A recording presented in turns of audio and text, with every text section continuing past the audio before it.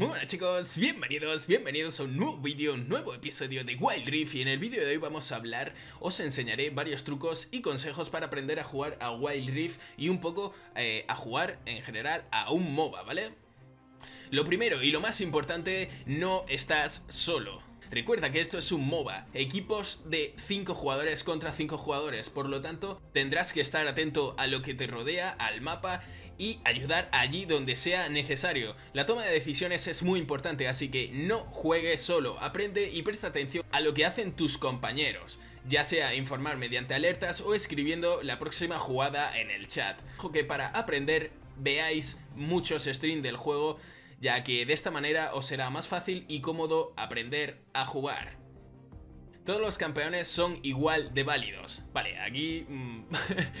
No hay campeones mejores que otros, solo campeones que se desenvuelven mejor en una situación que en otra. Si es verdad que existen tier lists, que las iremos subiendo al canal, donde recogeremos todos los campeones más usados barra beneficiados con el meta, ¿vale?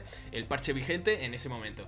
Para que lo entendáis, lo más fuerte en ese momento y con lo que vais a reventar. Vamos con el siguiente, conoce el mapa. En el vídeo anterior estuve hablando de los Ward y cómo utilizarlos ya que es una herramienta fundamental. Si aún no lo habéis visto, lo dejaré por aquí arriba. Conoce el mapa y qué hay en él para dominar la partida, ya sea dragones, eh, jungla, heraldo, eh, Nashor, tranquilos, tranquilos. Poco a poco iréis conociéndolos, ¿vale? Conociendo el mapa, conociendo todas estas clases de objetivos. No es solo tirar torres y llegar al nexo, hay más. Y en este canal veremos qué acciones hay que tomar para poder llevar la delantera en la partida. Vale, hablemos del carril del Baron. Es el marcado con una especie de serpiente morada y el que indica dónde aparecerá el varón Nashor, un monstruo neutral que nos dará mejoras con mayor ataque y poder durante tiempo. En este carril deberías de jugar campeones tipo tanque, guerreros para ir cogiendo experiencia mientras vais avanzando. Vale, pasamos a la jungla. La jungla es la parte del mapa que se encuentra entre los carriles. La función de este jugador es conseguir superioridad numérica en una línea o asaltar a un campeón despistado o débil.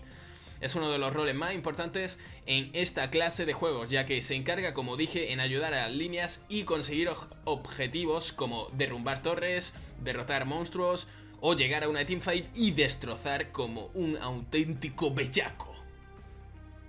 Vale chicos, vamos con el carril central, en este carril al principio solamente iban magos, pero conforme ha ido evolucionando la forma de jugar en este título también se ven muchos asesinos. En este carril tendrás que... Eh, en este... En este carril tendréis que estar muy atentos a los demás para, en un momento determinado de la partida, apoyar en otras líneas u objetivos, ¿vale? Dicen que junto con el papel del tirador, este es uno de los puestos más difíciles. Vamos al carril del dragón. En este carril eh, es marcado por un dragón azul, carril reservado para un tirador y un soporte, la línea con más acción del mapa. Así que si os gusta la acción, si os gusta el desenfreno, esta es vuestra línea. Ya que es la que más sufre ganqueos, aparece el mido, el jungla, enemigos, batallas por los dragones o simplemente las disputas del 2 contra 2.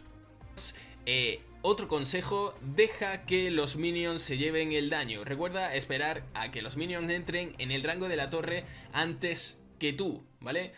Como también esperar a que los minions se ataquen entre ellos. De esta manera no, no te arriesgas ni perderás vida tontamente, ya que en cualquier momento podrías toparte con un enemigo y estar en desventaja. Vale, chicos, otro consejo más, una retirada a tiempo puede ser una victoria, chicos. En este juego retirarse es de inteligentes y no de cobardes, y verdad que habrá eh, algunas excepciones. Pero nos referimos a cuando hemos limpiado línea o justo después de una teamfight. Juega con cabeza al menos hasta que empieces a dominar todas las situaciones, o casi todas, ¿vale?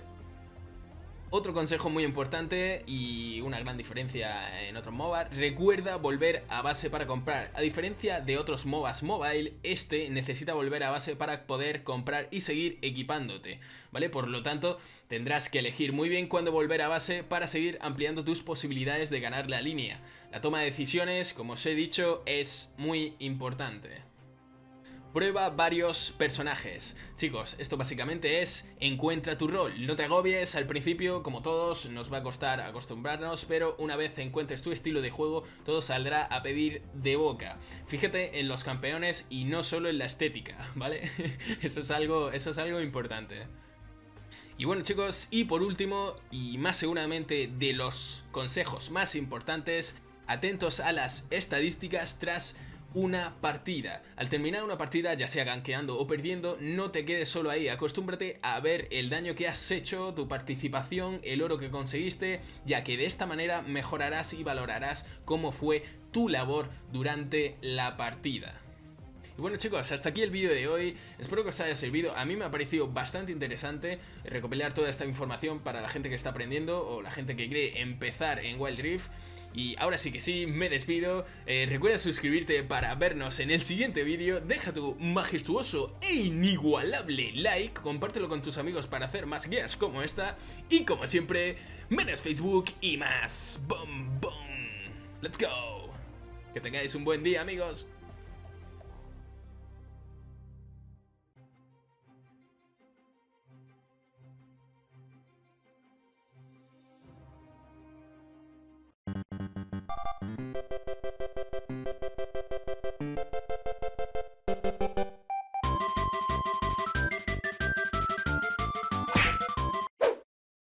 Chicos, antes de ir os recuerdo que he creado un canal de Discord para todos vosotros, para que compartáis vídeos, para que paséis capturas, para jugar conmigo y quién sabe también salir en algún vídeo.